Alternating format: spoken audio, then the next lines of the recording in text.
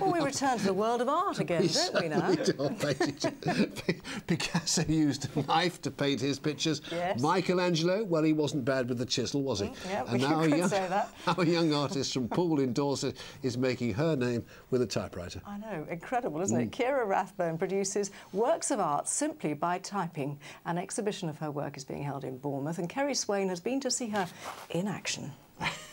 They say a picture paints a thousand words. Artist Keira Rathbone uses thousands of words to paint a picture. Well, not words exactly. Individual letters, numbers and symbols typed with the orange 1960s typewriter she bought in a charity shop for five pounds.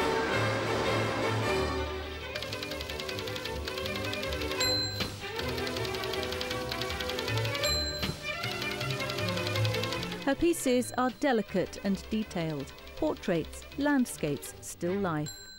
I use a lot of dashes and um, slashes and brackets because they're really useful for structure or if I'm trying to draw an eye. Letters are more useful for shading if I'm trying to do dark, really dark areas, but I'll still, I'll still decide, it'll be a capital letter, I'll still decide which one's going to take up the most space, like an H or a capital B.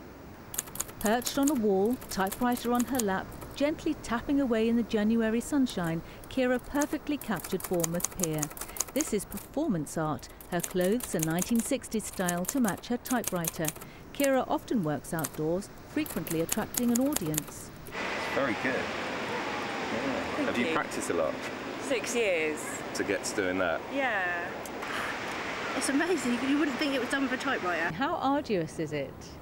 Um, the only thing that's tired at the moment is my bum. this section would probably take up to about 10 hours to, for me to be happy with it. I've always fancied myself as a bit of an artist.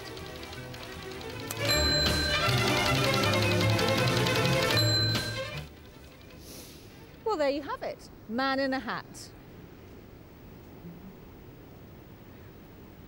It's actually incredibly difficult. Compare my efforts to these beautiful curling leaves. You can see Keira's work for yourself at the Grove Studio in Seabourne Road in Southbourne. Kerry Swain in Bournemouth for Meridian Tonight. Take a letter, Miss Rathbone. I like her style. I love the outfit, don't absolutely you? br- They are so good. Brilliant. And you can see more of Keira's brilliantly creative art on her website. The address to log on to is keirarathbone.com. Well worth it.